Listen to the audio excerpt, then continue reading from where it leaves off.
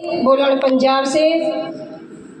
आप सभी यहाँ पे आए बहुत बहुत थैंक्सफुल और मैं सबसे पहला धन्यवाद करती हूँ उस परम पिता परमात्मा का जिसने मुझे इतना अच्छा प्लेटफॉर्म दिया, मेरे बिज़नेस गुरु और दोनों ग्रेट सीएमडी सर जो हमारे ही बीच से निकल के एक ऐसा ज़बरदस्त प्लेटफॉर्म तैयार कर दिया है, जहाँ पे हम अपने सपनों को पूरा कर सकते हैं। डियर लीडर्स डायरेक्ट सेलिंग हमें इतना ज़्यादा इस बिज़नेस के बारे में नहीं पता होता क्योंकि हम उसी लाइन में चलते हैं जहाँ जिस लाइन में सभी दौड़ रहे हैं। इस थोड़ा सा इस भीड़ से निकलकर अपने आप को खड़ा करके देखो। ये बिज़नेस इतना खूबसूरत है कि आप खुद इसको देखोगे रियल से और पहचानोगे तो अपने आप को लकी समझोगे। मैं अक्सर अक्सर बोलती हूँ कि इस प्लेटफॉर्म पे डायरेक्ट सेलिंग में और खास करके सोपनेट में वही इंसान आ पाएगा जो लकी होगा, जिसकी किस्मत अच्छी होगी, क्योंकि बिना किस्मत के ये बिज़नेस नहीं मिल सकता। ये रियलिटी है, ये मैंने दिल से फील किया है। और सोशल वर्कर है, यहाँ पे पैसा है जो पैसा कमाना चाहते हैं नो डाउट बहुत ज़्यादा पैसा है, सर ने बोला है। नाम कमाना चाहते हैं, नाम भी है। इज़्ज़त कमाना चाहते हैं, वो भी आपने देख ली। कई ज़्यादा लीडर बोर होंगे होंगे भी यहाँ पे फूल माला लगा रहे हैं, बोले जा रहे हैं। लेकिन उनको यहाँ, वहाँ से यहाँ तक आने में कितना स्ट्रगल करना पड़ा, कितनी मेहनत करनी पड़ी, उसको आप सबको फील करना पड़ेगा। और वही कामयाब होगा, वही सक्सेस होगा जो इसको फील करेगा।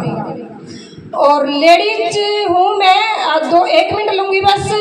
अगर मैं इस प्लेटफॉर्म की बात करूँ तो लेडीज़ के लिए दी बेस्ट प्लेटफॉर्म है। यहाँ पे जो लेडीज़ बैठी हुई है, मेरे से सभी अच्छी थी।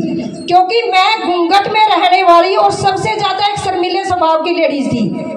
गेट भी ओपन करती थी तो बिना घूंघट के नहीं करती थी, आज से तीन साल पहले ये सच्चाई है। और इस बिज़नेस ने और मेरे गुरुजी के आशीर्वाद की बदौलत आज मैं आपके सामने खड़ी हूँ और फॉरन ट्रिप यानी दुबई। जहाज़ कभी ऐसे देखते थे, वो गया, जैसे हम देखते हैं, वो गया और उसका नज़दीक से इंजॉय लिया है। यहाँ पे एक लेडीज़ को है सबसे ज़्यादा क्या होती है? झिझक। अगर मैं फ़ील्ड में गई तो लोग क्या कहेंगे?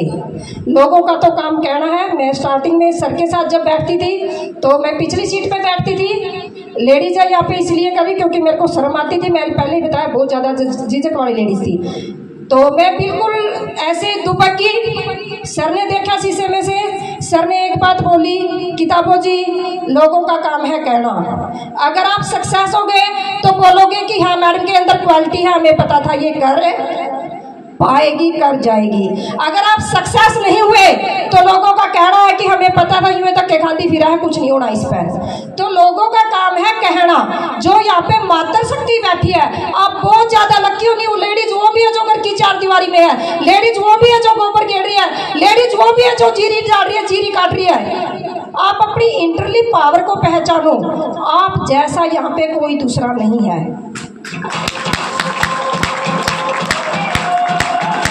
आप सभी बैठे हो, जो परमपिता परमात्मा ने आपको बनाया है, आप जैसा इंसान कोई दूसरा नहीं बनाया है। सिर्फ़ एक ही है कि आपको अपनी पावर को पहचानना पड़ेगा। Thank you thank you thank you जैसा